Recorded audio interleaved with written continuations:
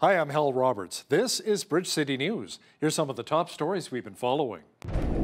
Many are still discussing the U.S. presidential debate between Trump and Biden on Thursday night. We have reaction and analysis.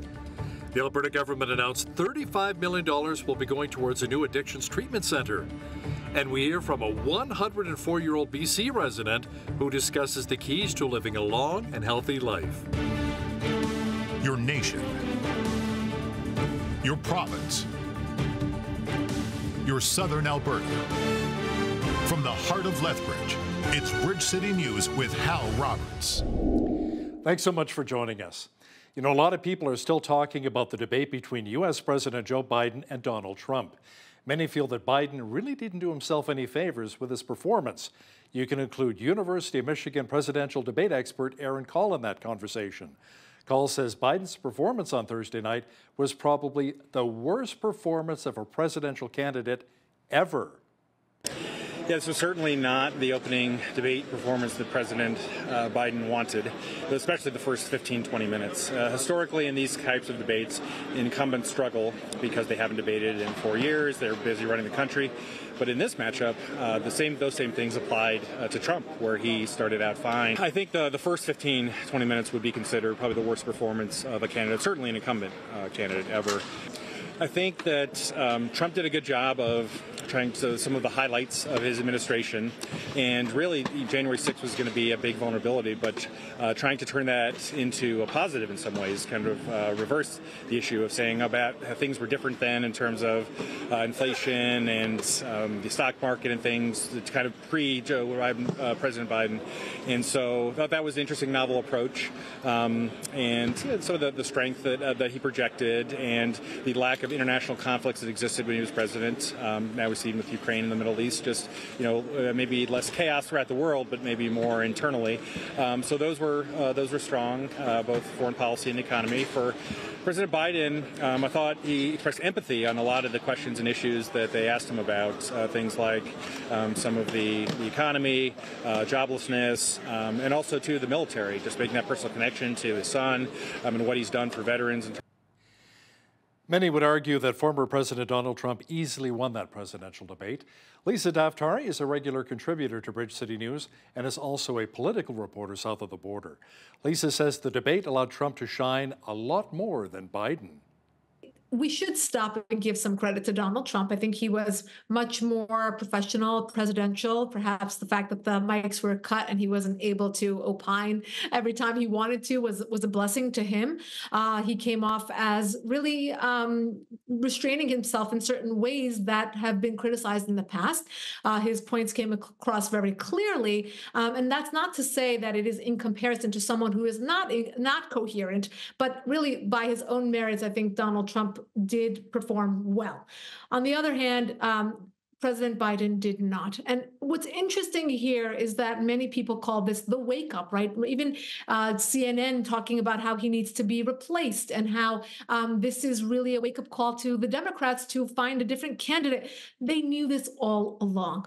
You know, um, anyone who was denying the fact, whether it was the media trying to cover it up, whether it was Jill Biden trying to just push her husband along to to uh, uh, run again for a second term, regardless, this was a disservice to this man. And I think a lot of people are refraining from calling anyone a winner or a loser. Felt very badly. Many people I saw on Twitter calling this elder abuse. You know, why was this even? Why has it come to this point where this man should even be on stage, falling flat on his face and not even being able to formulate complete sentences? Um, others are saying no, he had a cold. Um, this is, you know, a great president, a great man, and I'm going to vote for him over uh, Donald Trump, who they're calling, you know, a criminal or whatever they they call him. Um, look, regardless, I think this was a very um, very dangerous moment for the United States in terms of having our enemies watch. It was a dangerous moment in terms of saying, you know, the country is right now, forget about the election, right now in the hands of someone who is not competent to run a country.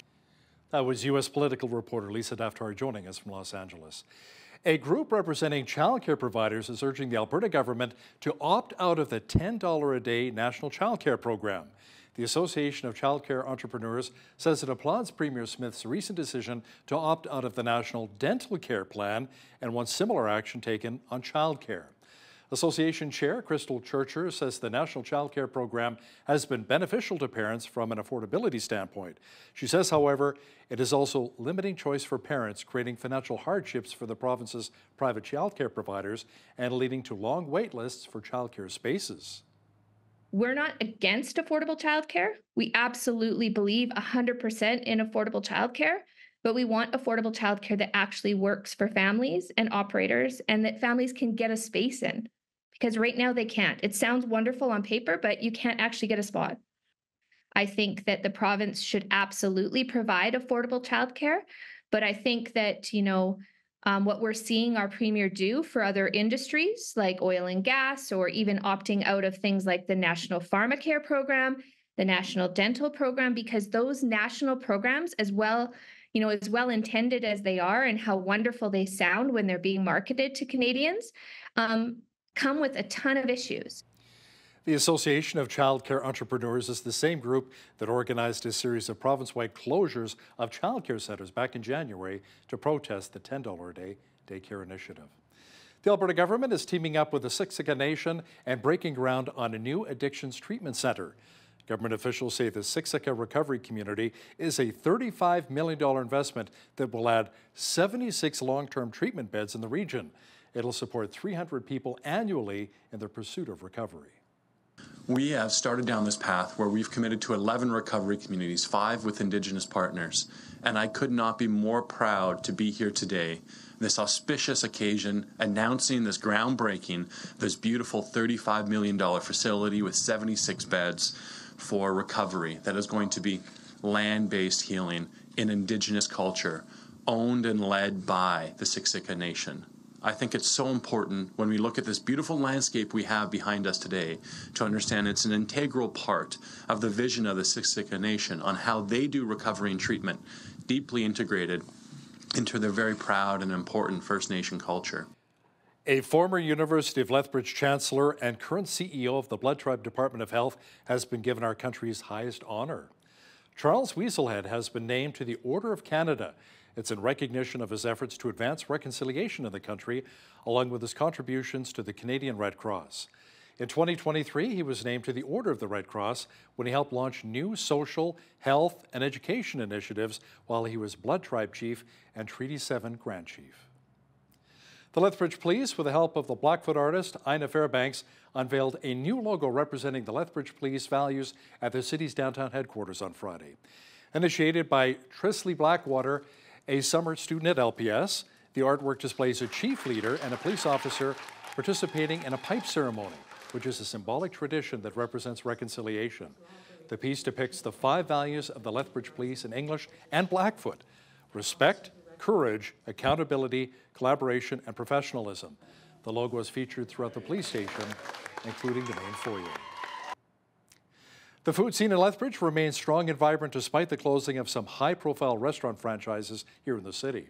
The CEO of Economic Development Lethbridge, Trevor Lewington, says locals shouldn't read too much into Harvey's, Swiss Chalet, and Montana's closing down here in our city.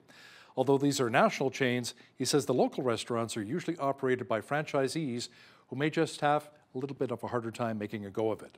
He points out the city is still home to many national chains, along with a thriving locally owned restaurant scene. I wouldn't be too concerned about it. Um, Lethbridge, as a market, tends to have more restaurants per capita than most other communities our size. We're well represented. And the exciting thing, I think, is we've got a lot of local Lethbridge only restaurants that are locally owned, locally operated, with very unique menus that are quite popular. And so it might be just a function that these small local businesses are stronger and more, you know, more competitive perhaps than in some other markets. So restaurants come and go, brands come and go. You know, they certainly change their presence, change their branding. Uh, again, not a concern, I think, for the local economy. Now, speaking of food, the famous Western Canada Rib Fest Tour stops by our city here in Lethbridge this weekend. Today through Canada Day, visitors can try out four acclaimed barbecue stands, each with their own take on award-winning ribs, chicken, sausage, and barbecue sauces. Admission to the weekend event is free and will feature live music performances and family friendly activities. Saturday, we'll host an open cornhole tournament, and on Canada Day, lots of movies to enjoy. The community will vote for the best ribs out of the vendors at the end of the long weekend. The Rib Fest regularly tours throughout cities in Western Canada over the summertime. Victoria, BC Police Staff Sergeant John Masuko says the wild bank robbery shootout two years ago outside of a Saanich, BC bank was just over 26 seconds. Two suspects were killed and six officers suffered from gunshot wounds. Masuko, who was shot in the foot, says he and his colleagues risked their lives to save 22 people inside of a Bank of Montreal that day.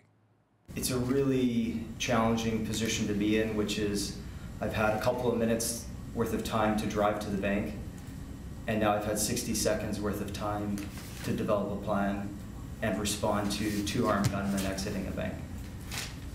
And although it sounds like a lot, we are governed by these philosophies and these safety priorities that actually make these types of decisions relatively easy to make, even though in the grand scheme of things, these are big decisions.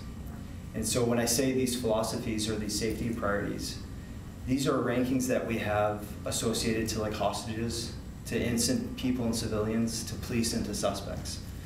And it's not that we're ranking people's lives above one another because all life is equal. All life is equal but it all relates back to control. So like a hostage in a hostage taking has the least amount of control because they're being held against their will and you know you have uh, a suspect et cetera, et cetera. So I put their safety at the top of the list, followed by innocent people and civilians. As you've heard on Bridge City News, no charges will be laid in connection with a collision between a bus and a semi-trailer that claimed the lives of 17 people in western Manitoba last year. An investigation determined that blind spots on the bus played a major role. Early on, we were able to pull evidence from the semi-truck dash cam. This dash cam enabled us to gather that evidence and showed that the bus proceeded when it was unsafe. We reviewed multiple expert reports that were generated, and all the opinions indicated that blind spots would be a significant issue in this case. Unfortunately, police are unable to speak to the bus driver nor do we anticipate being able to speak to him based on medical reasons. Therefore, we do not have the driver's account about what happened that day to help us understand his reasoning or actions of proceeding into the intersection.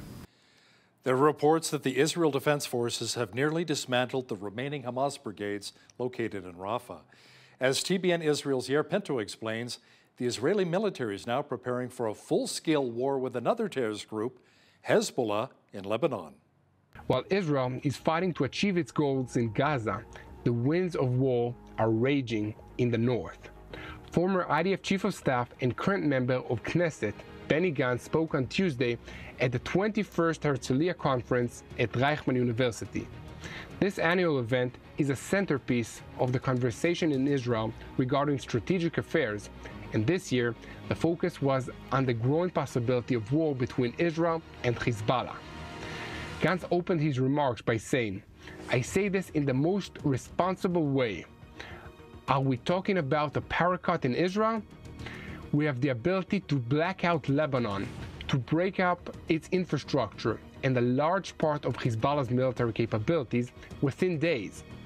But to get to this point, the price in Israel will be very heavy we must prepare for a scenario of damage to the infrastructure, even more incidents with many casualties. He continued, This is the price of war, which is desirable to prevent, but if we are forced into it, we must not shy away from it. A new encampment in support of the Palestinian people has been set up, but this time it's located in Montreal's Victoria Square. Protesters are demanding that the Quebec Pension Fund manager divest from any investments tied to Israel. The new encampment was also met by counter-protesters. So we are here, we're standing near the office of the Caisse des dépôts et placements du Québec, from which we are asking the immediate divestment of the $14.2 billion it holds in investments in 87 companies complicit with Israeli occupation and ongoing genocide. Also, we are here near the office of the Minister of uh, Foreign Affairs and Francophonie, uh, which is responsible to opening the Quebec office in Tel Aviv, in Israel, which we are asking the immediate shutdown. We don't think it's acceptable, as we're speaking now, to increase economic ties with a state that is currently doing genocide against the Palestinian people. This is a, a citizen initiative. This is uh, organized by the collective Divest for Palestine, which is a citizen collective that has been created to ask for the divestment of our... I wanted to see for myself what was going on. And uh, it's uh, certainly disheartening to have a, a, beautiful public square on a beautiful day overtaken by people and uh, the public can't enjoy what uh, the city built Of course Canada will not divest, and of course they won't uh, in Quebec divest from Israel, because Israel is an ally of Canada and a democratic uh, partner. So what are the keys to living a long and healthy life? Maybe proper diet and exercise? How about playing some games? Lina Debray, who lives in a retirement home in Langley, British Columbia, is now 104 years old. She says what's helped her in her longevity was being a good eater and drinking lots of milk. I still enjoy life, and my hobbies is uh, playing cards and bingo. Try and lead a good life every day. Uh, some people take the wrong path. Um, pretty hard. Uh, I had uh, good parents, and we were eight in our family, and I think all of us turned good. I think I've always been a good eater. You know how some people they just go on diets and they yeah. Um, I still am not too bad an eater. And I was too young, I just loved milk. I drank a lot of milk, mm-hmm. and maybe I get I should say, maybe that's why I might have 104 years old. Wow, congratulations, Lina. Well, school is out for the summer and parents are looking for fun activities for their children to participate in. Mitchell Meiselar, family pastor of One Life Church here in Lethbridge, shares how Vacation Bible School, or VBS, is a great place for kids to let loose, make some new friends, and learn more about Christ. The one thing that we realize with VBS, it's it's it's foundational, but it also is a place for kids to just be kids as well, especially in today's societies with all the pressures and everything else like that of of goings ons. Um, there's so much more stress for these kids than there used to be. So it's a comfortable and wonderful place for kids to just have fun, be themselves, to not worry about anything else that's going on. Even just a three hour period is so important for them. Catch my full interview with Pastor Mitchell Meiselar and learn how you can register your kids for One Life Church's Vacation Bible School, or VBS, coming up later in our show. Well, it appears as though the moisture we've been receiving across much of southwestern Alberta will be leaving us shortly and just in time for the Canada Day long weekend. Full weather details are coming up.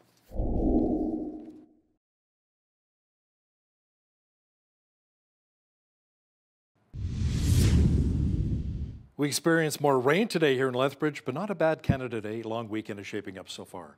Tonight, however, there's a slight chance of more shower activity developing with a low near 6 degrees. Tomorrow, partly cloudy with high expected near 20 degrees. Sunday, even warmer with a high near 24. Beautiful day. Canada Day holiday Monday, it should be mainly cloudy with the mercury dipping slightly to 17. Mainly sunny on Tuesday with a high near 21. Wednesday, overcast with a high of 19 and on Thursday, partly cloudy with a high of 23 degrees. Now, the average high for this time of year is 24 degrees with an average low of 10.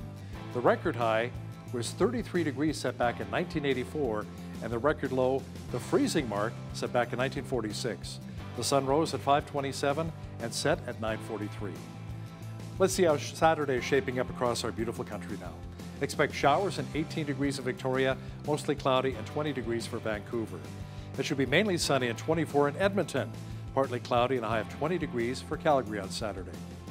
Expect lots of sunshine and blue sky with a high of 18 in Regina, a blue sky as well and 19 degrees for Saskatoon, mainly sunny and 18 in Winnipeg. Now in the central part of the country, expect rain and 25 degrees in Toronto, showers and 22 is on tap for Ottawa, rain clouds, and 25 with lots of humidity for Montreal. In Atlantic Canada, there will be clouds mixed with sun and a high of 21 in both Fredericton and Halifax. Lots of sunshine and a high of 22 degrees for Charlottetown. And in St. John's, it'll also be sunny with a high near 15 degrees on Saturday. A possible long weekend mechanic strike at WestJet has been averted. The federal labor minister has directed the airline and mechanics into binding arbitration to resolve their dispute, a move that all but certain will postpone the work stoppage. A strike by mechanics with the Aircraft Mechanics Fraternal Association could otherwise have disrupted flights for hundreds of thousands of travelers over the Canada Day long weekend. Labor Minister Seamus O'Regan says in a social media post late Thursday he's invoking his authority under the Canada Labour Code to resolve the impasse between the two sides as the clock ticked down toward a Friday evening deadline. The Canadian economy is expected to grow 1.8% in the second quarter. Stats Canada says that is slightly stronger than the 1.7% growth we saw in the first three months of the year. That's also more than what the central bank and economists were predicting. Early data says gross domestic product grew 0.1% in May, with most of the growth seen in real estate, manufacturing, and finance. It offset declines in retail and wholesale trade. Experts say the latest results may motivate the Bank of Canada to cut its key lending rate even further. It's currently sitting at 4.75%. Having different generations of the workplace can be rewarding and yet sometimes very challenging. Sociologist Dr. Scott DeLong says the older generation must recognize and be sensitive to the fact that many of the younger generation are more in tune with their needs. He says there's much to be learned. The younger generations are much more in tuned to their needs, and they should be. Um, the older generations, we take a look at it and say, well, just get on with it, move on. Things happen, move on. And while that gets things done faster, it the depth with the the concern for the for for what's inside the person really does matter. Make sure you catch the full interview with sociologist and author Dr. Scott DeLong and myself coming up in the second half of our program. Now, here's a look at today's markets. The TSX was down 66 points on the day to finish at 21,875. The Dow was down 45 points to 39,118. The S&P 500 was down 22 on the day to 5460, and the Nasdaq was down 126 points to 17,732. West Texas Intermediate Oil was down 24 cents to 81.50 US per barrel. Natural gas was down 8 cents to 260 US. Gold was down 98 cents on the day to 23.2676 US an ounce, and silver was up 17 cents to 29.14 US an ounce. Feed wheat is at $7.95 per bushel, barley's at 5.99, canola's at $14.17, and corn is at $7.24 per bushel. Live cattle were down 68 cents to 193.50. Feeder cattle August contract was down $1.35 to 259.30 and lean hogs July contract was up 13 cents to 89.58. The Canadian dollar was up slightly over the past 24 hours to 73.10 US. Recapping one of our top stories, a former University of Lethbridge chancellor and current CEO of the Blood Tribe Department of Health has been granted our country's highest honor. Charles Weaselhead has been named to the Order of Canada it's in recognition of his efforts to advance reconciliation here in our country, along with his contributions to the Canadian Red Cross. Congratulations. You know, this is the time of year when many kids head off to enjoy a wide range of summer activities. How about a summer event with a twist that offers a way to bring kids closer to Christ? Coming up, a one on one chat with Pastor Mitchell Meiselar, who will discuss the importance of Vacation Bible School, also known as VBS. Listen, when you see news happening in your community, be sure to drop us an email at info at bridgecitynews.ca. Also, be sure to visit our website anytime to check out a number of stories and interviews.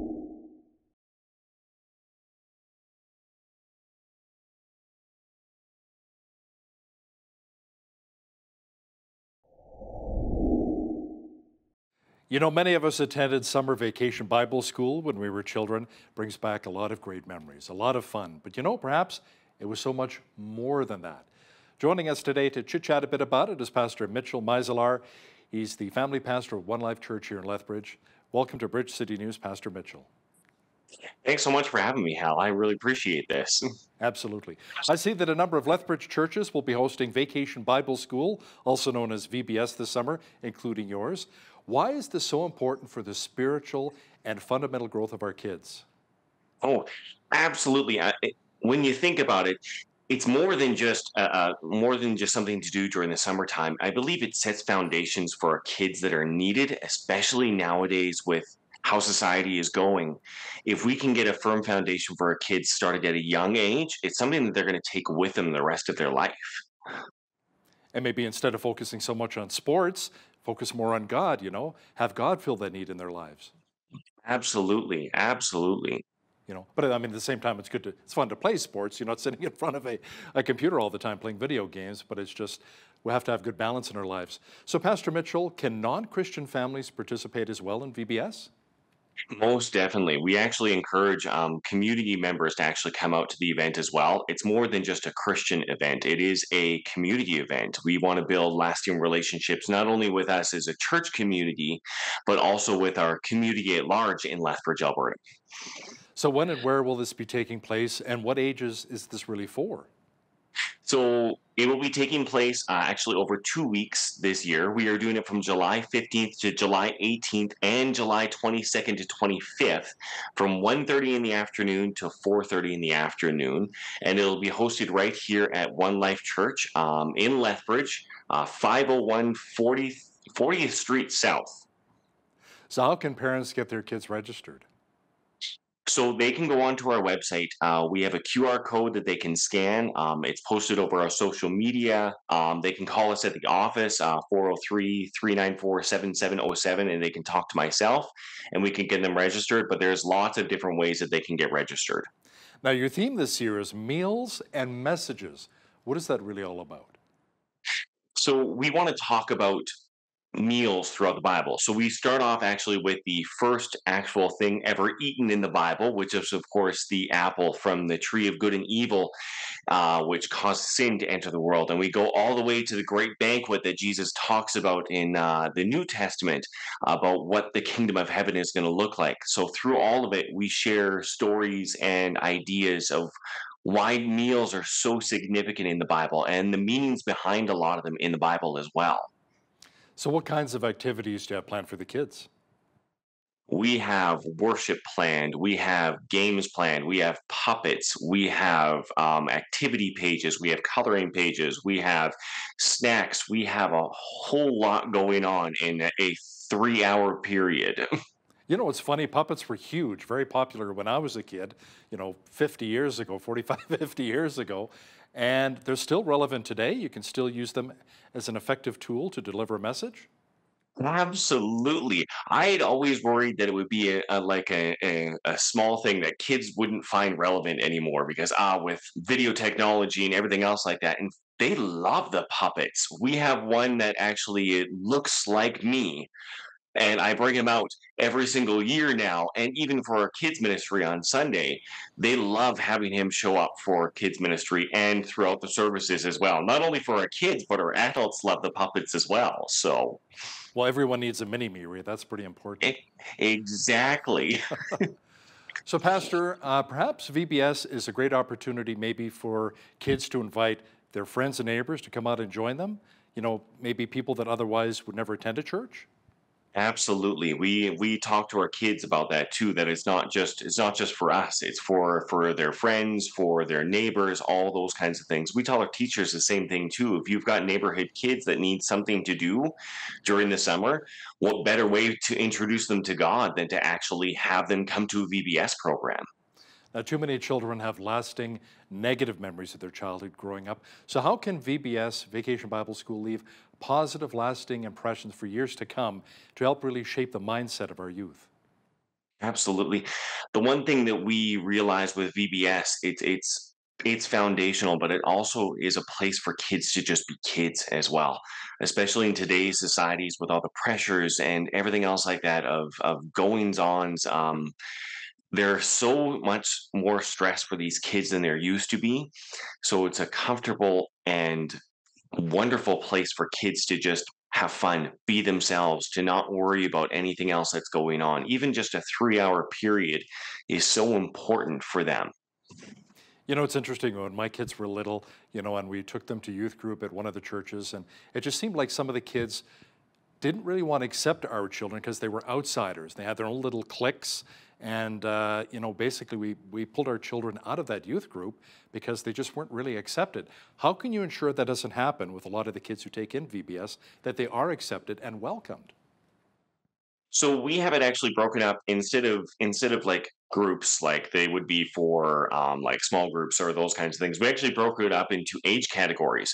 So ages fives and sixes are all together. Ages seven and eights are all together, and nines and tens are all together. So it gets rid of that clicky feeling. So you don't have to worry about my best friend is here or my other friends are over here it's more accepting that way than it would be if we just said, okay, find a group of people to connect together. It's no, we have your group set up together for you, so anybody is welcome into them. Almost like a prearranged marriage, except prearranged groups here with the kids. exactly. Not as serious though as a prearranged marriage. so, Pastor Mitchell, do you do you have any personal memories of VBS from when you were a kid? I don't have personal memories from VBS. I grew up as a farm kid, so a lot of my time was spent on the farm during my summer holidays. But for me, a lot of the foundational stuff that I got was in my Sunday school. So I take a lot of that into my VBS programs right now, the foundations that were built up there, the basic Bible stories that we grew up learning and made us who we are today. So I may not have attended VBS, but I use a lot of those same concepts that I learned in Sunday school years ago and actually use them for VBS now. It's interesting. That's how I came to know Christ was through the Sunday school bus ministry. I was growing up in Calgary, First Church of the Nazarene downtown, sent out these Sunday school buses to different parts of Calgary. I was in the far southeast, about an hour away from downtown. They knocked on the door, and my father answered the door. He wasn't a believer at the time. I was seven years old. Hey, do you have a son or daughter who'd like to come join us in Sunday school? I asked Dad, can I go? And he's like, sure, why not? And that's how I came to know Christ through the Sunday school bus ministry. So it had an amazing uh, impact on my life as well. Now, Pastor Mitchell, for a short period of time, you have the opportunity to share biblical principles with children, which can really help form godly character and values. Let's talk about the importance of that. It really is important, especially with how things are going in today's day and age. If we have that biblical foundation set up in their lives, it is so important because I believe that these things that we do nowadays are things that last for years to come. I, I listened to the stories and the experiences of of older people in our congregation. They said VBS was how it all started for them. It may not, may not be what caused them to become a Christian, but it did set up a foundation that kept them going later on as well. Uh, we have people who have been involved in VBS pretty much their entire life or or bus ministries or those kinds of things that are part of our VBS. So not only are we creating a foundation, we're also creating future leaders that will actually lead our VBS down the line when the day comes and I won't be able to do it anymore and keep up with the kids, um, there will be a legacy of those kids that will actually be excited about teaching VBS and being a part of VBS down the road and teaching the next generation of kids of what VBS actually is. So, how rewarding is it for the teachers and counselors who participate in VBS, helping to form a lot of the values in the children today?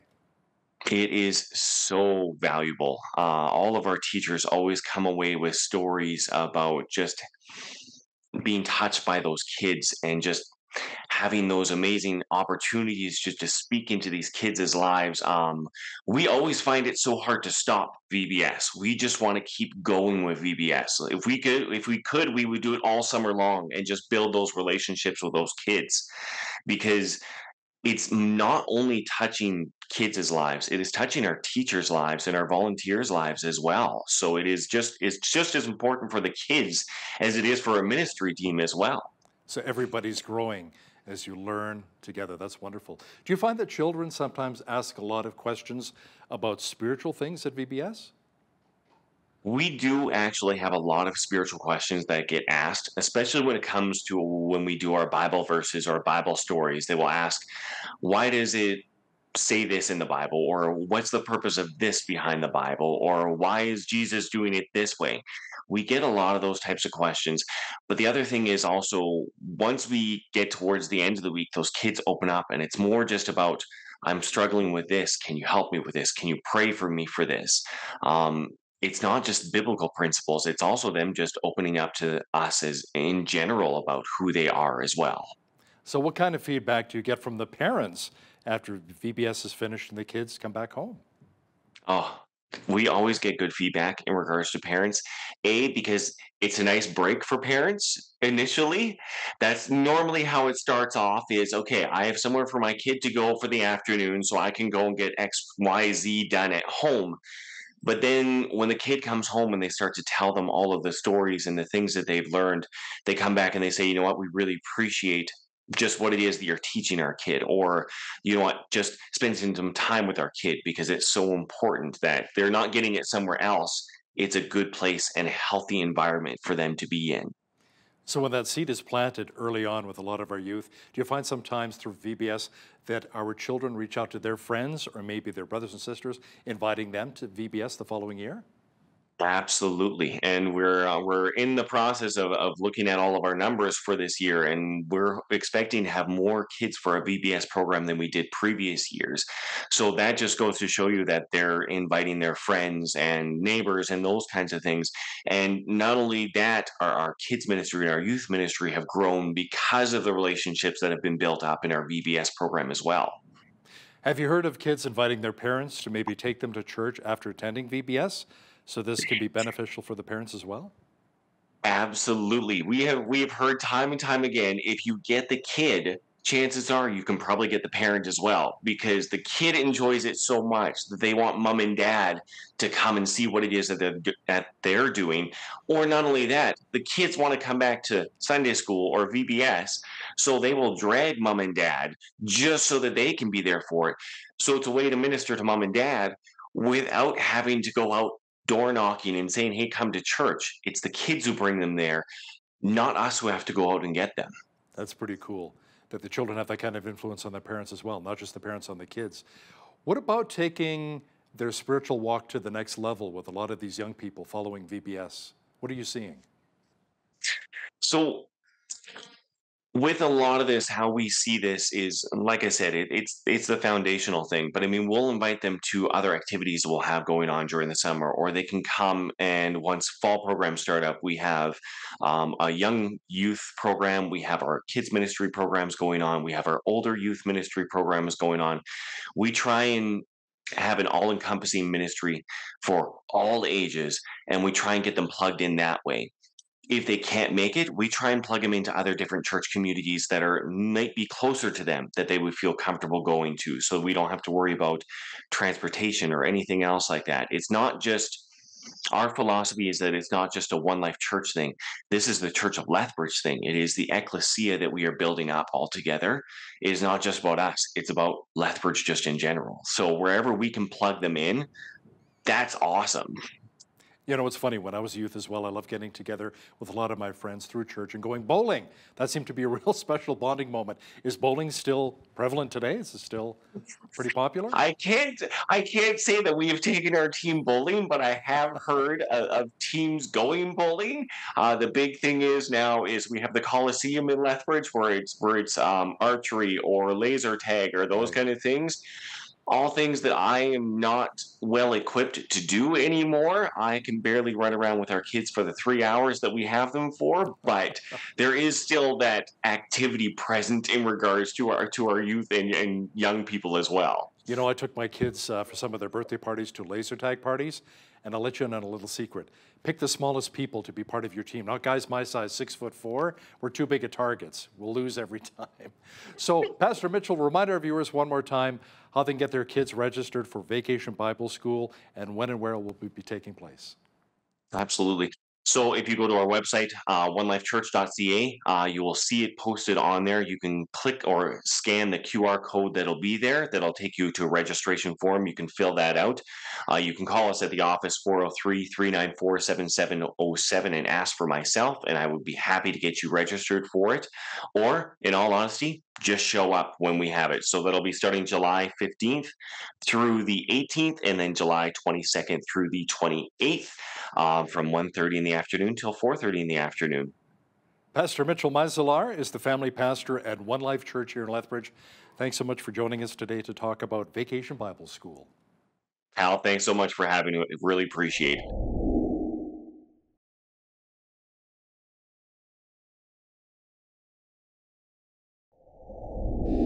Today's workforce appears to be going through some demographic changes with multiple generations working together.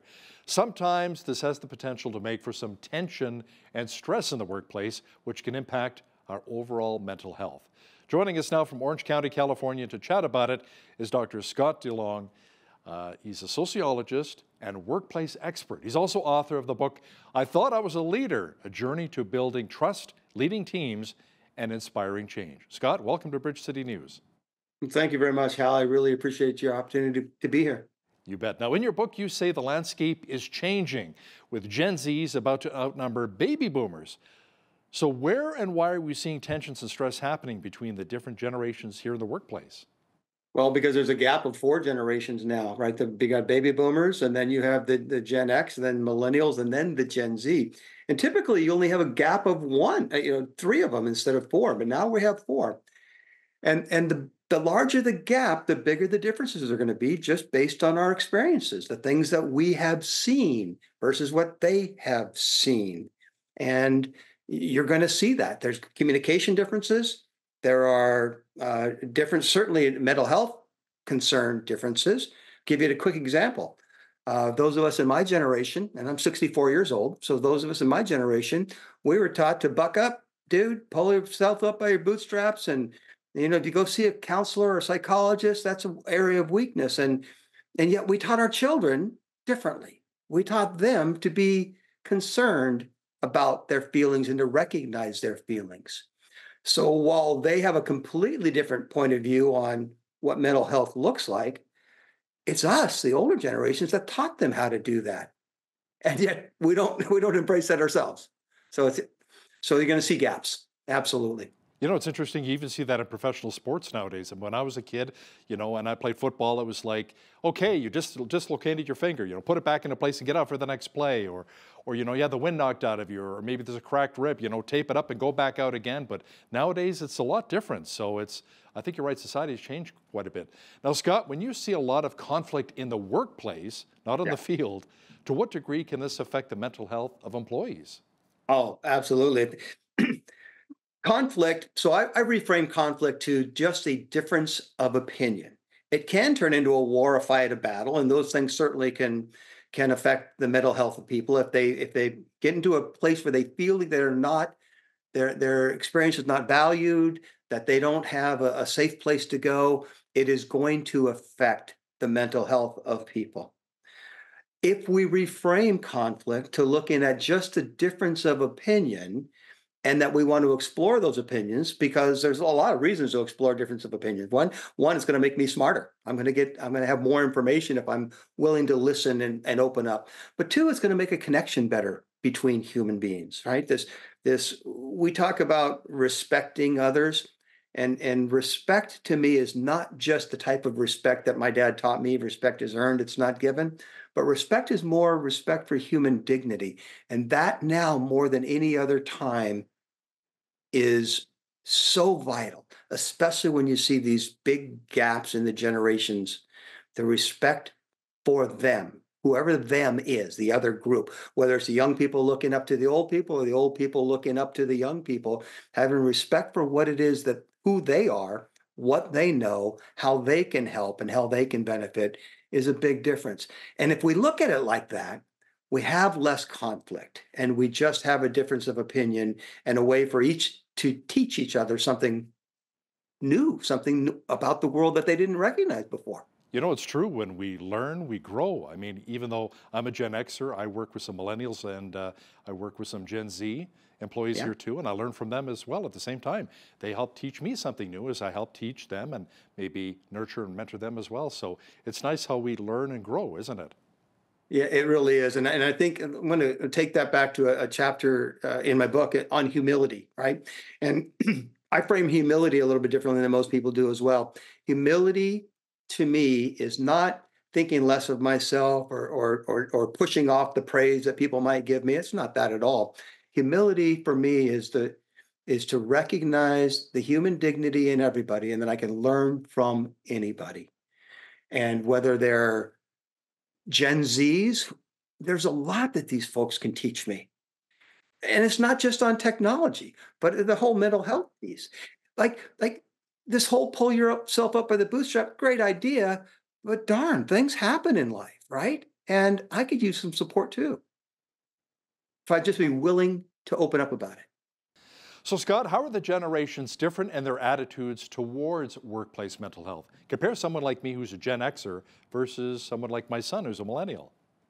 Yeah, I think, um, and, and, it gets even even deeper when we talk about the folks in the Gen Z. They are the younger generations are much more in tuned to their needs, and they should be. Um, the older generations, we take a look at it and say, well, just get on with it, move on things happen, move on. And while that gets things done faster, it the depth with the the concern for the for for what's inside the person really does matter. So why doesn't a one size fits all generations approach really work for supporting workplace mental health? Well, it one size fits all doesn't work because we have different needs or recognition of the different needs that we have with each other.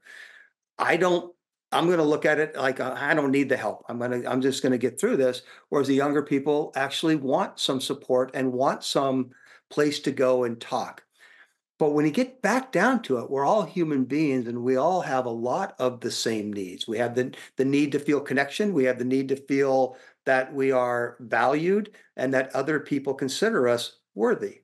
So there is a little bit of a one size fits all approach, but how to get there, right? The one size fits all approach is to make people feel whole. How we go about that is different by the generations.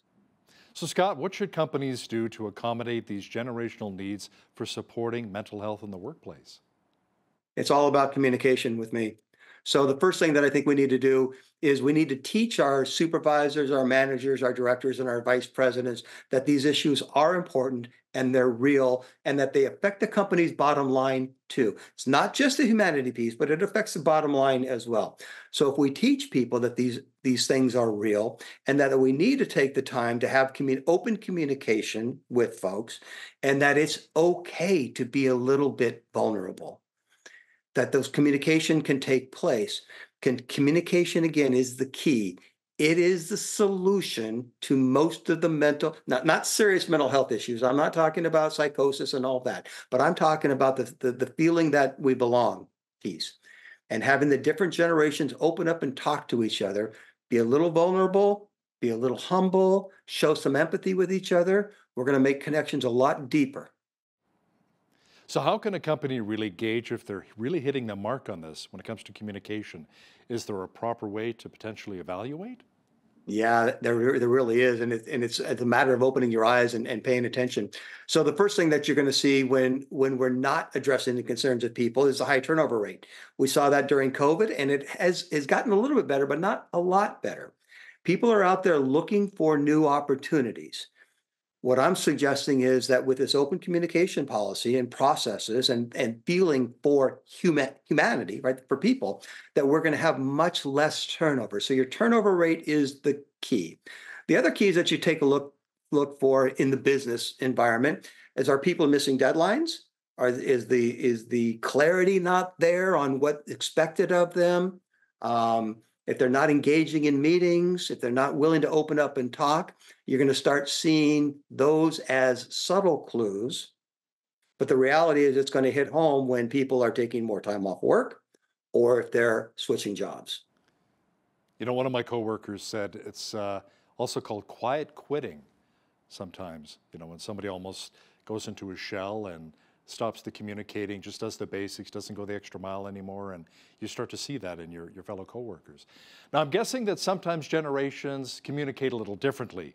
Now, some like to communicate via text, they say, why did you call me? You know, just text me, don't call me. And I'm like, what? I'm from the old school. I like to either call somebody or talk to them face to face, while even other people prefer online platforms to communicate. So how do we kind of maneuver and work through all of this? So this is the one area that I think the older generations do a, a, little bit better job with. So we have something that we've we've created called the communication hierarchy, and what it suggests is that the bigger, the greater the chance for conflict, meaning just a difference of opinion, the higher up the communication hierarchy we need to go. At the top of it is face-to-face communication. Below that is what we're doing right now, a video call. So we can, I can see your your reactions and I can I can gauge with your tone of voice. Below that's a phone call. Below that is email, and below that is text, right? The only thing lower than the text communicate when there's conflict, potential for conflict, conflict meaning you're going to see things differently than I do. That's all, right? The, the, the more chance for that, the higher up this ladder we need to go in order to effectively communicate. How often have you seen a text message go wrong? Or an email that someone responds to improperly. So these are some of the things that this, the older folks are going to need to help the younger people understand the value of this face-to-face communication. Whereas a text is great if if uh, someone wants to text, hey, meet you at the movies at 5:30. Great, no conflict there. It's much more efficient to communicate via text and email, but it's not as effective. And I prefer effectiveness over efficiency any day. A lot less misunderstandings as well. Like you said, if you meet somebody face to face or do a Zoom call or whatever, and yeah, a lot less miscommunication there, right? A- absolutely. I like, and I tell people all the time, you start getting these emails going back and forth, and they start escalating. Right, the the tension starts escalating, and as soon as you see this difference of a pick opinion, pick up the phone, walk down the hall, like let's get let's get some emotion let's get some voice into this conversation as opposed to the written language. The written language is almost always read, read one level below my intention like one level more hostile than my intention. And it's just it just works out that way. So if i'm going to suggest somebody have do something differently i'm not going to do it via email. I'm going to pick up the phone i'm going to walk down to their office. I'm going to give them a call and, and and and talk about it so that they can see my intention and then the impact is equal to the intention. Intention and impact are so often different especially when we're texting or sending emails you know, it's funny, a couple of times my mother, when she was still alive, may she rest in peace, she would text me, and a couple of times she had her caps lock on and everything was uppercase. And yeah. that usually says you're yelling at somebody, you're angry, right? Yeah. And I let her know after. I said, What's, what's, are you okay, mom? Are you angry? No, I'm not angry. Why do you keep asking me that, right? See, again, generational divides, right? So, so you know that that uppercase means yelling, and she just thinks it means emphasis. That's all. So, what can we, as the more mature, older generation, learn from our younger colleagues, especially when it comes to communication? Well, th- there's so much to learn from them. So, if if it's true, and it is, that between Gen Z and millennials, more than 50% of our current workforce. That also extrapolates to say that they're probably more than 50% of our current customer base. Our future is in these folks. Do you want me a baby boomer making decisions on our future when these folks know what's happening, know what they're going to be needing, right? So, what can we learn from them? We can learn what's happening now and in our future. What can they learn from us? Some old tried and true ways. We have experience, we have some wisdom, and sharing that with each other is, is the key to making this process work. And the sharing it is is that communication piece, right? That helps bridge that mental health gap that we're talking about as well.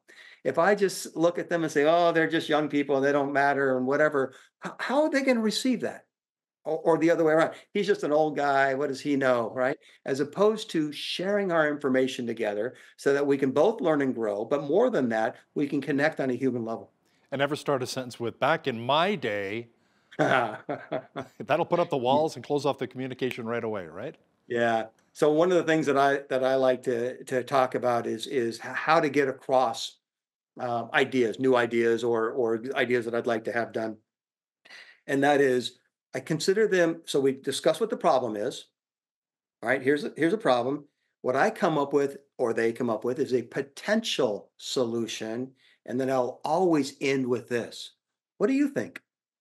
That is a dialogue starter, right? It's not, we need to do this and we need to do it now. Never do that, right? So what I'll do is come up with a potential solution, say, what I think we ought to do is such and such. What do you think? Get that dialogue going. And you will see that the, people will respond to that. They, they are going to be wel- uh, they welcome the opportunity that I care about what they have to think. And there's age differences and power differences and all of that. But when I reach out to you and say, hey, hey, Hal, what do you think? What does that do? It draws you closer. It shows you really value them as a person, right? Absolutely. So, what suggestions, Scott, do you have for people looking for ways to get support for their mental health at work? It requires a few, and back to those those those three principles I was talking about: humility, vulnerability, and empathy um, being willing to. In order for that to happen, though, that, that there has to be psychological safety created within the organization. The psychological safety just means this that people do not fear of any repercussion for anything that they might say, right? And, and so it's a top-down driven initiative that, that leadership has to impose. We are going to create a safe environment for people to be able to communicate. Now, here's the problem with that, though. Anybody in the room can ruin psychological safety even if the leader is is promoting it and saying here's what we do and here's how we operate and this is our culture one person over in the corner rolling their eyes at me as i'm exposing myself will get me to shut down immediately. So it's got to be driven through the entire organization that it's okay. It's okay. This is safe. You can talk to me about this. Dr. Scott DeLong is author of the book I Thought I Was a Leader and it's available at scottdelong.net. Scott, thanks so much for joining us today from Orange County, California. Thank you, Hal. I really appreciate being here. Thanks for the opportunity. You bet. On behalf of all of us here at Bridge City News, I'm Hal Roberts. God bless and thanks for watching.